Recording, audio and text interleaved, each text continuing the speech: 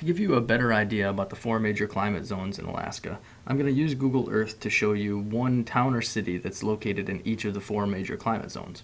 We're going to start with the Arctic climate zone and Barrow, Alaska.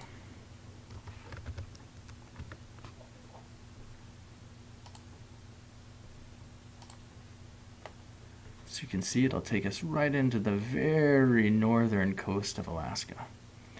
Now if you can remember, the Arctic region is mainly taken up with tundra. There's not a lot of trees, really no trees on the tundra. Um, it's very cold, very long, cold winters. So let's zoom in and see if we can take a look. As you can kind of see out here on the terrain, it doesn't look like there is any trees, just a lot of barren ground. This is very typical for that Arctic climate region. And there's Barrow itself, as you can see. Scroll back out just a little ways.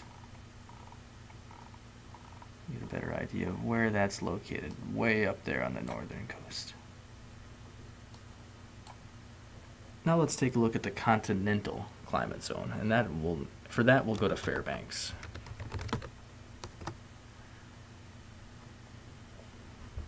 As you can see, it's located deep in the interior. Um, now, there's some similarities between this and the Arctic climate region. Um, the continental climate region also has long, cold winters. Um, not, you know, there's a pretty big variance because it gets hot here in the summertime. Um, in the interior, you get a lot of heat building up. There's a lot of trees here in this continental climate zone. Um, a lot of spruce, a whole lot of spruce, a lot of birch trees. Let's zoom in. I can take you outside of town here a little bit and show you. Here's here's some of these spruce forests that I'm talking about. As you can see, it's abundant areas of trees. So quite a bit different as far as vegetation goes from that Arctic climate region. Now let's go ahead and look at the transitional climate region. And for this, we're going to go to Aniak, Alaska.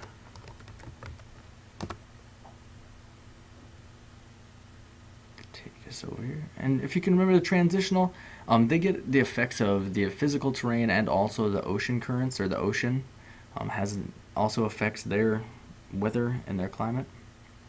So let's zoom in on Aniak a little bit. This is a very small community, so not sure how the resolution is going to be. Yeah, it looks like it's not going to come through too well. We can kind of scoot out a little bit and hopefully get a better idea. As you can see, it's kind of a mix here. You can see there's different types of terrain. You can definitely tell there's some trees mixed in there.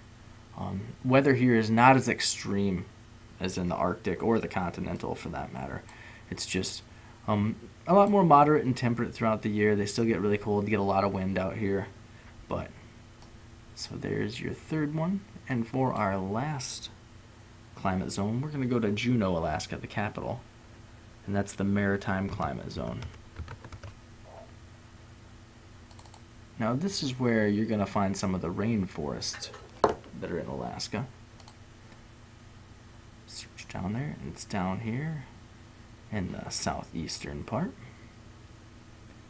So let's scroll. You can see there's a lot of mountains down here. Um, also, this is very affected by, it's a maritime climate, so it's very affected by the ocean. A lot milder temperatures throughout the year. They don't have quite the swing that we do in, up here in the interior, in the continental climate zone. They also just don't get nearly as cold. Let's zoom in just a little bit. As you can kind of see, you can tell there's a lot of vegetation right outside of Juneau. And this is how it is down in this maritime climate region.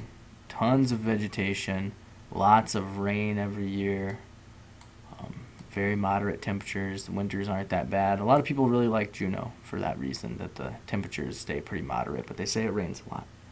But those are your four climate um, zones in Alaska and a city or town for each one.